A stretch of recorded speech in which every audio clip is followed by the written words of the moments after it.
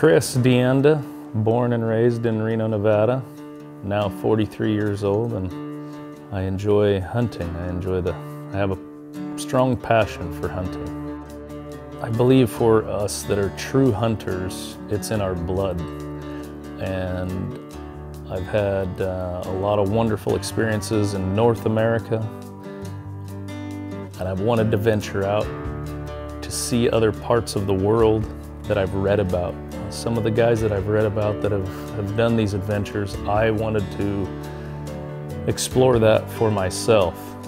With that, it's brought me to a few different Asian countries now, uh, throughout Europe, down to New Zealand and Mexico. I love exploring the places.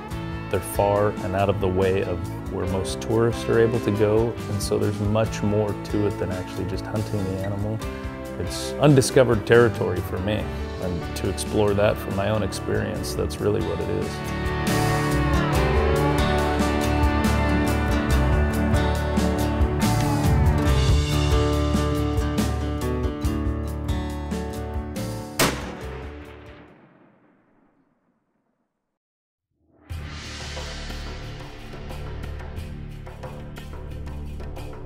The Markhor caught my eye years ago, and in the hunting world, maybe the mountain game hunting of the world, the Markhor the pinnacle, especially the Astore. And reading about it and looking at the, the mountains of the Himalayas, uh, the Hindu Kush, and now we've got to experience the Karakorums as well. I mean, they are just fascinating. So for me, it was the ultimate.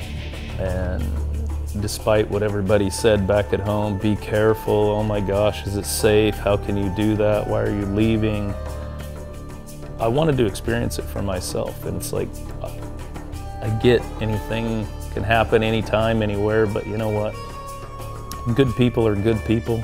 And I felt really confident and comfortable with the gentleman that I put this hunt together with, uh, Per Danish Ali, and it's been it's been an unbelievable experience. Just all positive, that's for sure.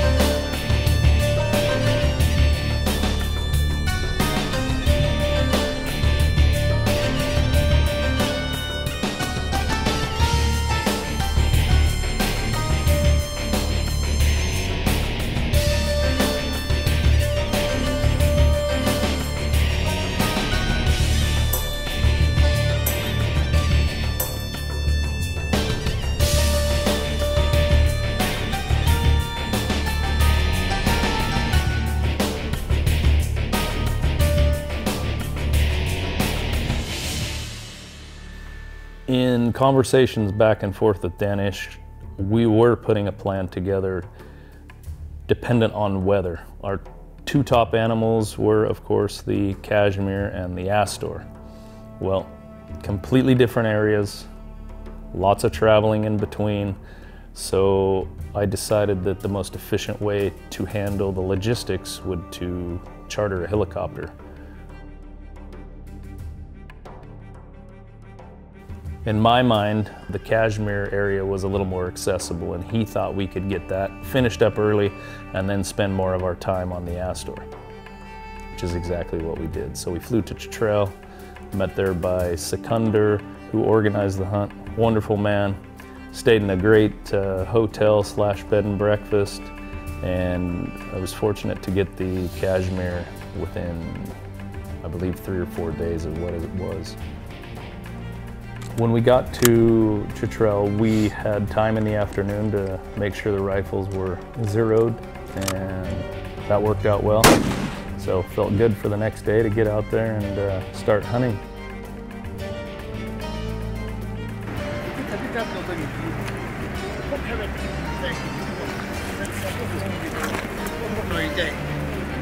Oh, that's a perfect.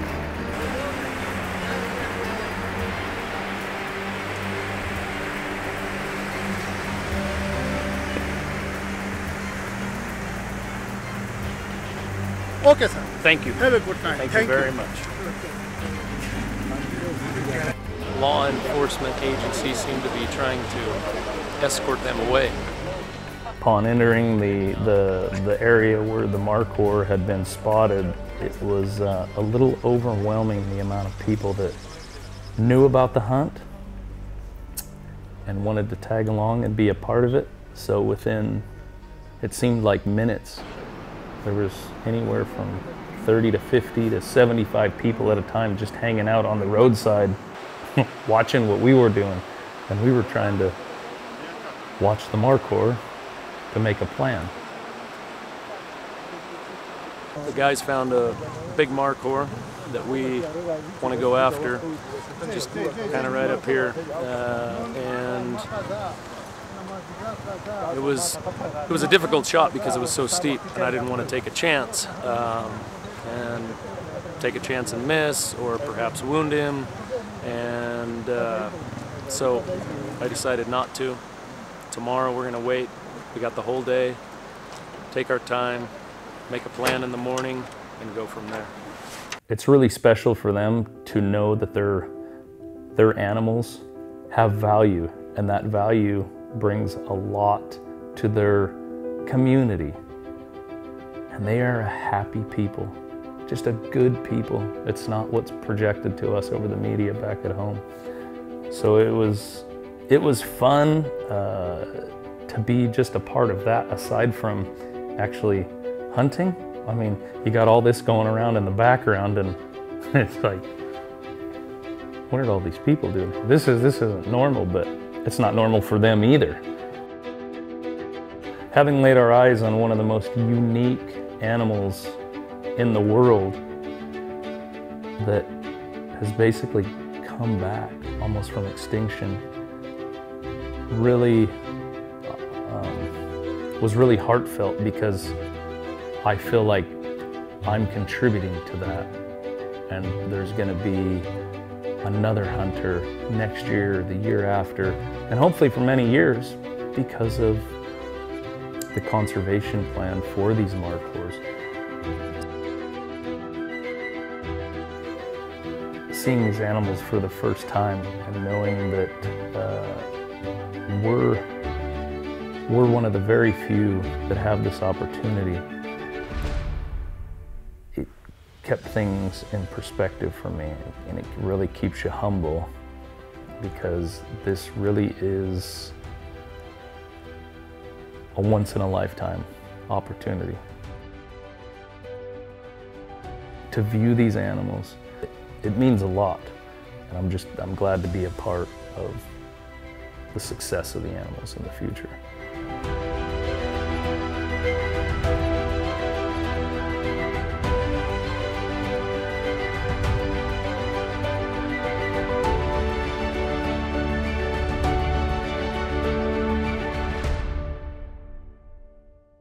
So a day later, the guys found the billies. There were two decent ones, and basically I could choose between one of those. They were old, mature, and good trophies.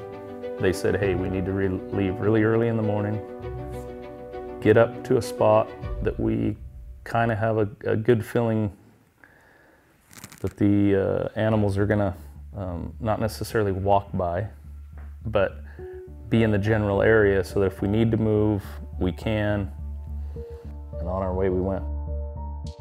Walked up in the dark, tried to be as uh, light as we could, but yet carry some warm gear because it was, it was chilly. And maybe an hour, hour and a half later, we were in position. A couple hours ago, we left the truck on the side of the road, crossed the bridge to get on the animal side here, uh, up for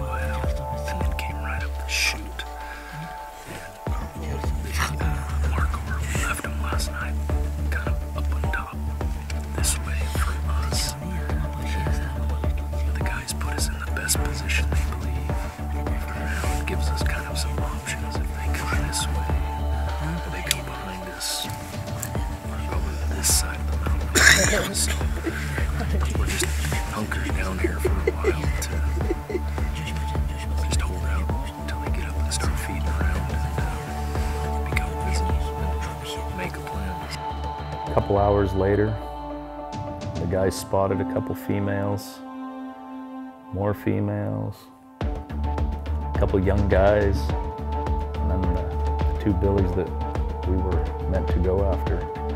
And after an excruciatingly long day of waiting, and the guys glassing, and me holding the position for the shot, the animals eventually came low enough and within range where I felt comfortable to take a good ethical shot.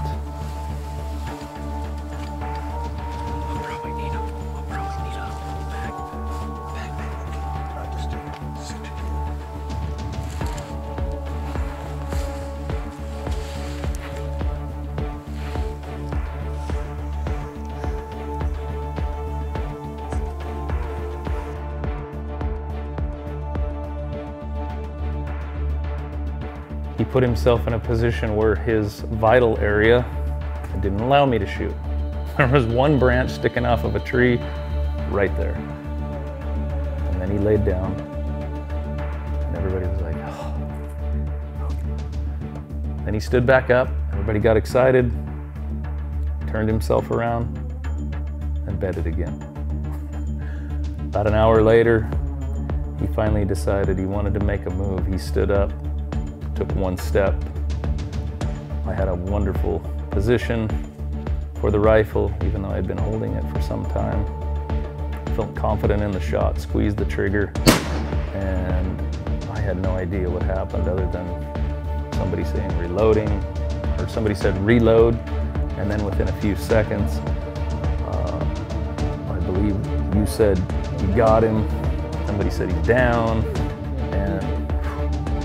we were all relieved, very happy uh, that the animal was down, wasn't wounded. It was a good shot in the end after we, we got to him. Thank you.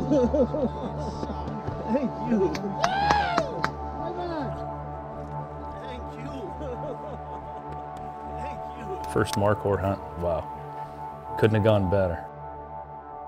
So immediately after the animal was down, uh, two or three of the guys that were with us, they left.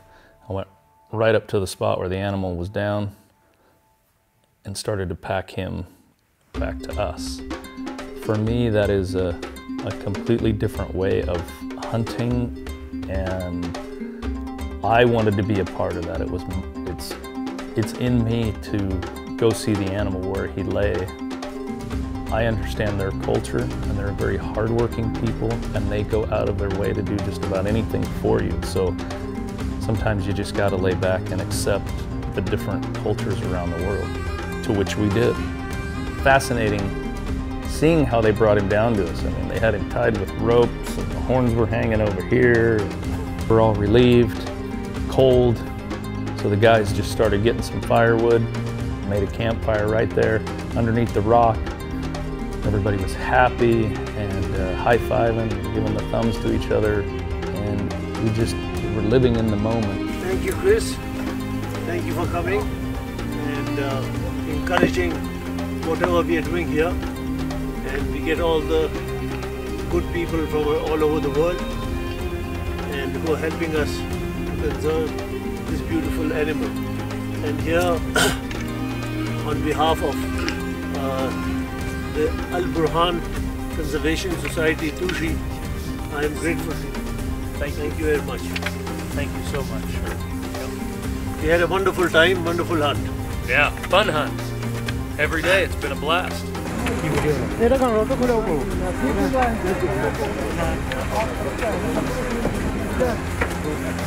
मेरे भाई और angle पे थोड़ा सा आगे हो जाओ मेरे भाई इधर फ्रंटल ये सामान रखते हैं ना Next, are you okay?